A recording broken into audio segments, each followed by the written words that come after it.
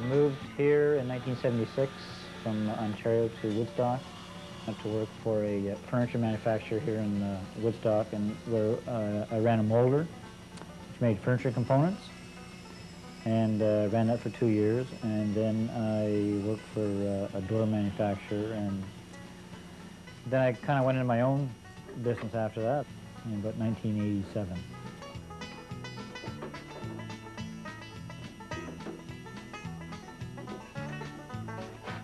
My favorite woods uh, are walnut, uh, butternut, basswood, uh, most of the hardwoods.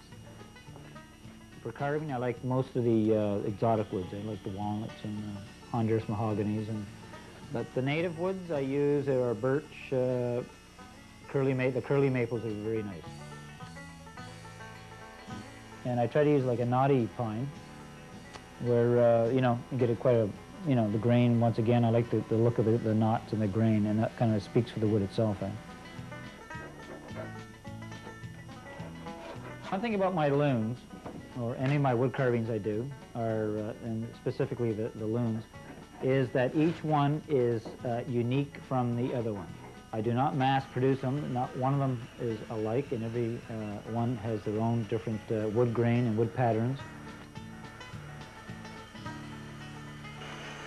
I uh, call myself a one-of-a-kind wood artist because each particular piece is one of a kind.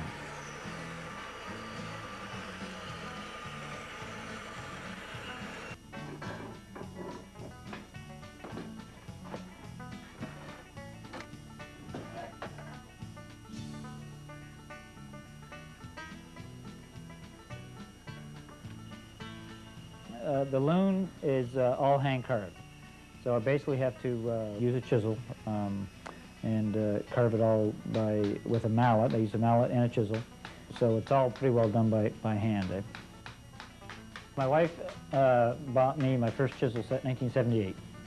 And I did a uh, small carving on the back of a piece of pine that I had gotten from work. And uh, I thought it looked pretty good, so I said, geez, I'm going to try another. Uh, basically, when you carve, your first piece is probably, the, you know, that's the best piece. So as you progress along, you get better and better, and uh, you just keep at it, make a lot of mistakes. And, uh, you know, you just, because there's so many things to do with carving, I mean, you can go into anything.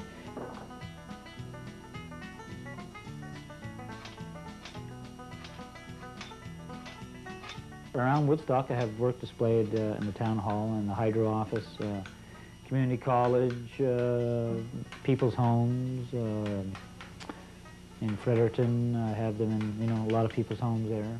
Uh, some have gone, some of my loons have gone to Texas and Switzerland. Uh, some of my have gone to Germany. So, you know, they've gone uh, at least halfway around the world anyway.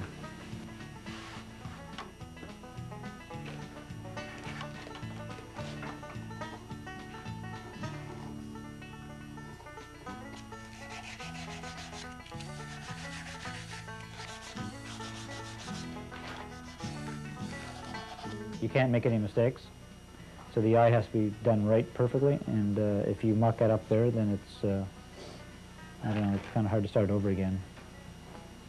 But I do it all by hand pretty well.